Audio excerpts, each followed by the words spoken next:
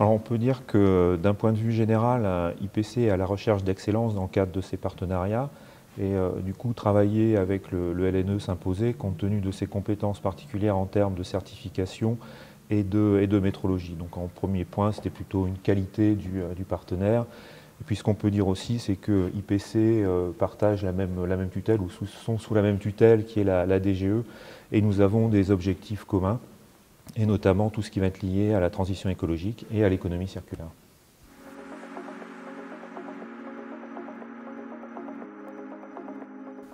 Alors IPC est un partenaire euh, de longue date euh, du euh, LNE. Nous avons commencé à, travailler sur tout ce qui est matériaux au contact, hein, toutes les problématiques de contact euh, alimentaire, et on a pu euh, mesurer à la fois la compétence et les complémentarités entre nos deux institutions. Et donc, bah, on a souhaité aller de l'avant, on a souhaité renforcer nos collaborations, et est arrivée cette idée de développer en commun un référentiel sur les matières plastiques recyclées.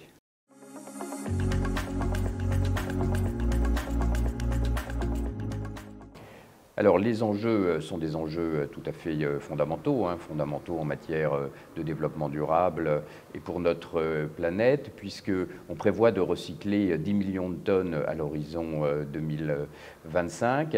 Et se pose bien sûr le problème du comptage. Comment on compte ces matières euh, plastiques euh, recyclées et incorporées dans de nouveaux euh, matériaux. Et c'est là où le savoir-faire du LNE, son savoir-faire de, de, métrologue, son sens de la mesure peut intervenir et est intervenu pour définir un process, une méthodologie, un référentiel de calcul qui soit partagé par tous et qui permette de mesurer euh, efficacement euh, ces engagements qui sont, euh, je le répète, essentiels pour la planète. Donc il est clair, on en a parlé, on a des objectifs de, réintégration et d'utilisation de MPR qui sont assez, qui sont assez importants. et c'est une tendance de fond, aussi une tendance sociétale au-delà de la partie technique ou la partie, la partie légale. Il est clair que pour le plasturgiste, euh, la certification euh, permet de valider l'utilisation effective de MPR par un tiers de, confiance. Euh, on est aussi convaincu que c'est un bon outil commercial et qui va permettre aux industriels de la plasturgie de gagner des parts de marché.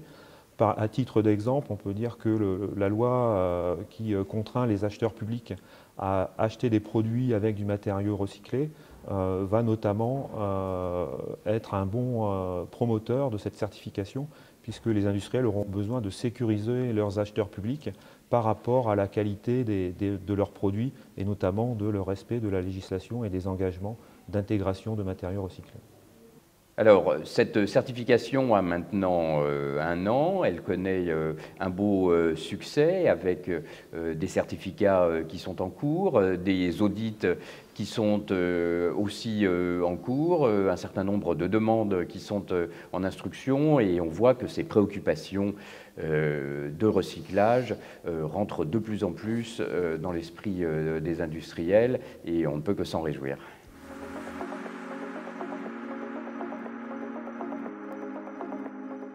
Ce qu'on peut dire, c'est que IPC comme le LNE ont vocation à, accompagner l'ensemble des industriels, donc je dans chacun, dans leur, chacun dans leur secteur.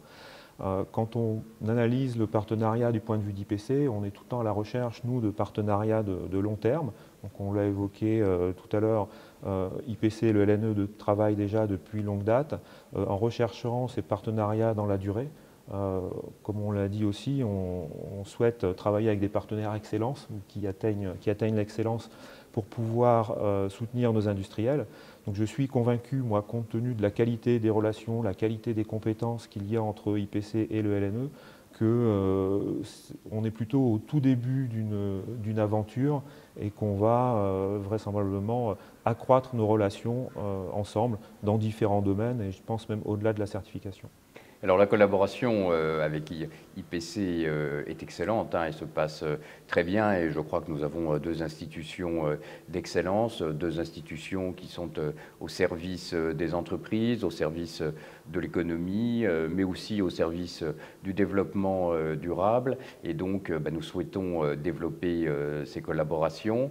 un exemple, par exemple, plus, plus récent, on a de longue date une collaboration dans le domaine du contact alimentaire. On a développé il y a maintenant un an cette certification ensemble sur les matières plastiques recyclées et on va travailler sur l'incorporation de matières plastiques recyclées dans les plastiques au contact alimentaire qui pose bien évidemment des questions tout à fait spécifiques, en particulier en matière d'hygiène, en matière de santé. Et c'est un très beau projet de collaboration que nous poursuivons avec d'autres institutions qui fait appel à de la recherche de très haut niveau, à des techniques de simulation tout à fait à la pointe et où nos deux institutions bah, peuvent montrer leur excellence.